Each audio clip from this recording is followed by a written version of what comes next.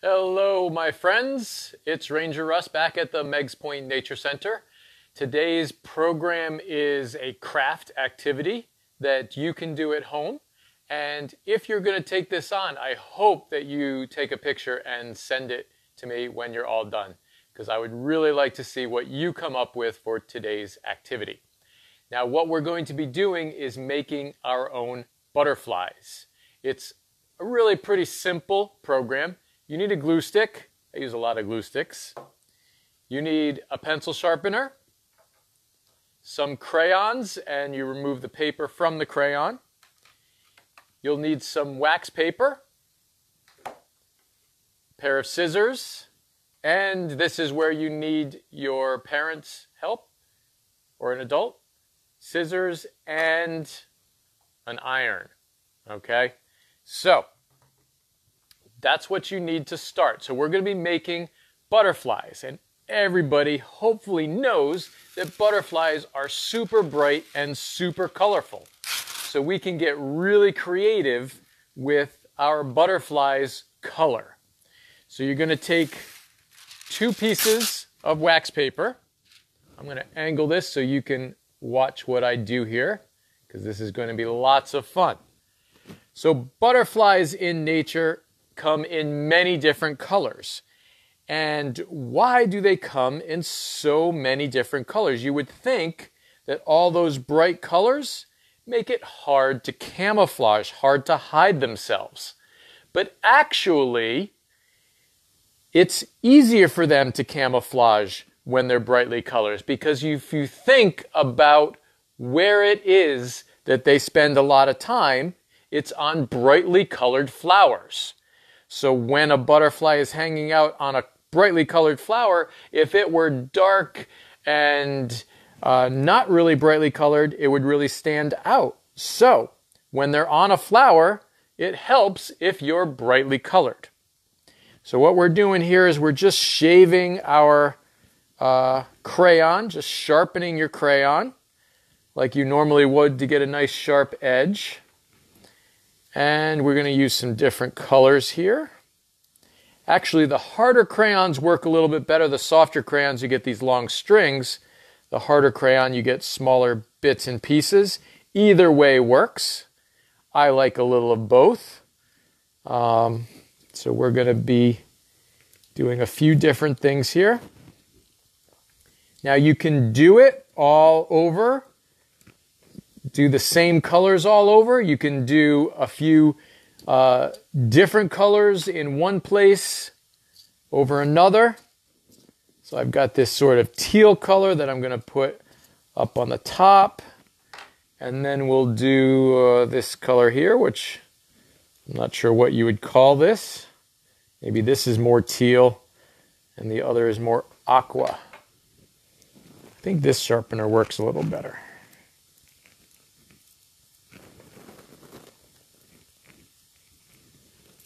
You don't need a whole lot of the color. And a little bit in the center helps as well. So we're going to do some down the middle here. A little more over here.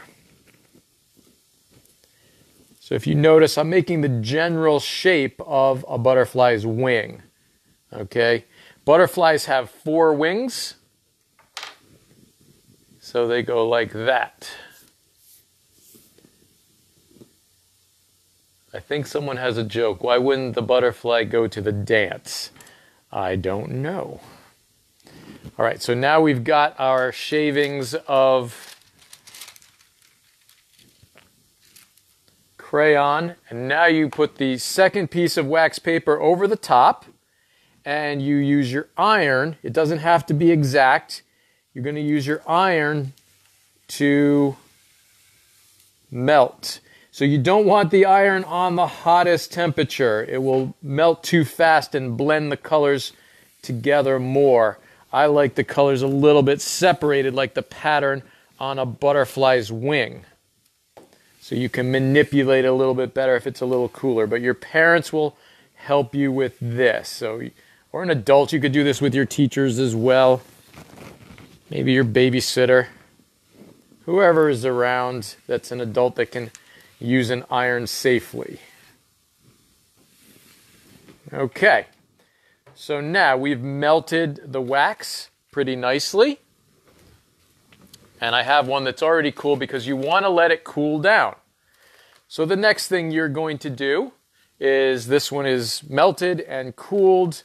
You're going to fold it in half. So the colors are approximately overlapping each other. And now you're going to cut it out. Now there are a 100, over 180,000 species of uh, butterflies in the world. So you can't really go wrong with your butterfly's color. Even the shape of the wing, you can't go wrong with that.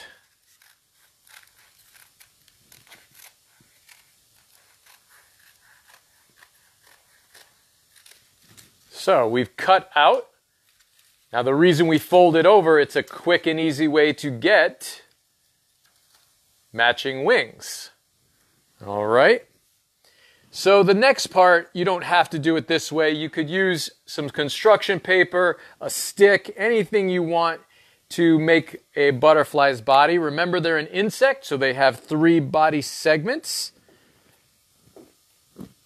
head, thorax, abdomen. So we've got our three segments. We're going to put that right down the middle.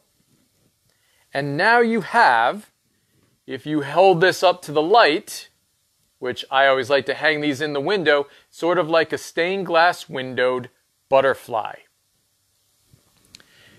Here's one that I made a little earlier. Okay? So this is a really simple project. Again, you can't go wrong. Butterflies come in every color um, imaginable, every shape of wing. They have long, thin wings, short, wide wings. So lots of different colors. You can hang this up. It will make a really nice stained glass window. Um, what makes a butterfly's wing so colorful?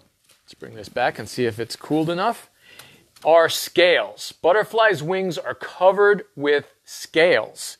And those scales refract light differently from one another, so you get lots of different colors. The reason that they need to be colorful is they're really trying to not only camouflage, but they use that to attract one another. So the boys and girls will attract each other with their colorful wings. And they also use it to keep from being eaten by predators. So those bright colors in nature usually mean that something is not edible. And that's why the butterfly's wings will keep them from being eaten. Because if a predator sees them, they see all that bright color and they say, oh, that probably doesn't taste good. So they're going to stay away from the brightly colored butterfly. And there's another one. So you can do more colors, you can do less colors. Remember though that you're melting the crayon so the colors will blend together. Actually, you could go this way as well. You could go either direction. I think that one looks better to me this way. Um, if you put too many different colors on, the, they will all blend together and it may start turning brown or black, which not quite as pretty as all the bright colors if they stay a little bit uh, separated. All right, let me turn this so I can see if there are any questions. Let's see. Like this idea much better than capturing butterflies. Yeah, I don't suggest you go out and capture the butterfly. Um, and I don't suggest that you buy mounted butterflies. So often you see these you know, in a nice frame, a butterfly that's in there. It's really beautiful and colorful, some tropical butterfly. They say that they collect them after the butterfly dies. Most butterflies only live 72 hours or so, uh, or a week. But I, I, still, I just don't like the idea of, because they may be collecting them while they're alive, they get a more intact butterfly. So, um, are you going to have monarch butterflies tagging in September? So we're not sure if we're if we'll be able to this year. It may be a virtual thing where I'll have volunteers out doing the tagging and we'll film it and, and you can watch it. Um, it's one of those things that we don't know when we'll be able to do groups of people. So we're being really cautious about it. Um, but as soon as we are able to, to do programs again, uh, we'll let you know. So here's how I did the, the body of the butterfly. It's really quite simple. I just do a circle for the head, do an oval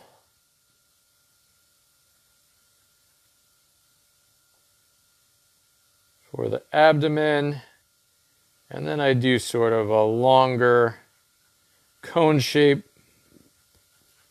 for the thorax. Make that head a little larger. Really quite simple, and then you cut this out with scissors. Um, we have done it where, again, you use a stick uh, for the body. You can use a clothespin for the body. Sometimes you could just cut the body out um, of the wax paper. So coming up, I will be doing uh, programs on insects as soon as our garden gets a little more in bloom and we get more insect activity out in the garden. We'll be doing some insect programs. I would like to do our Build a Bug, a bug program for you. And one thing that, that my butterfly doesn't have that it needs are antennas. So if you can get some um, toothpicks or something really thin that can act as a uh, antenna, are they are insects, so they need antenna. And we'll put that right on there. And then that can go right into the window. All right, any questions so far? So this is a quick and simple project. You can make lots of them. I've already made, you know, three here. Bring these over.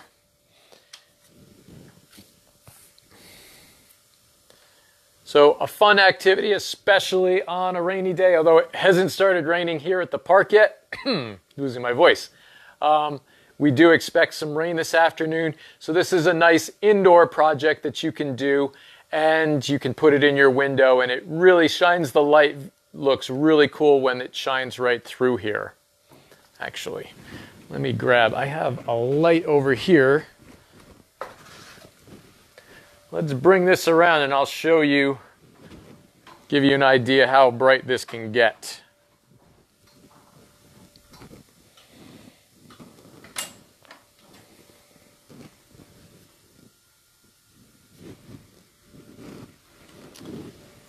So if we go over here,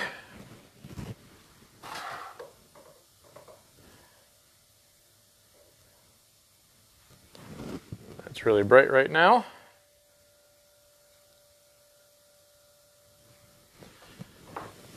And now we can show you what it would look like if we're held up in a window.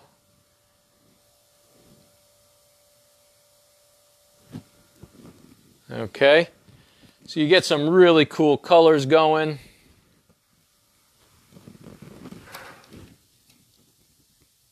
This one's got a lot more color in it, so it looks a little different.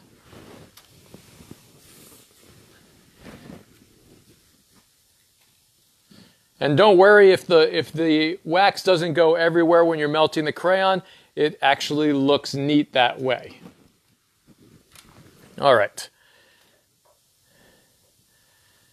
Do we have any questions? The answer to the previous question. It was a mothball, so the butterflies weren't invited. Very cool.